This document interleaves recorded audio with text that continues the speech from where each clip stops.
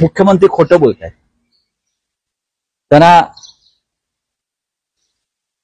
ते गुवाहाटीला जाऊन आल्यापासून त्यांच्या तोंडाला जे रक्त लागलेलं आहे त्याच्यामुळे ते खोटं बोलत आहेत या सरकारची भूमिका अशी होती उद्धव ठाकरे मुख्यमंत्री असताना की कोणावरही राजकीय सुडानं कारवाया करायच्या नाही हे आमच्या सरकारचं धोरण होतं आणि ते धोरण राबवलं. नाहीतर अत्यंत संत गतीने अनेक तपास झाले नसते जाऊन सुलाखून काढलं नसतं.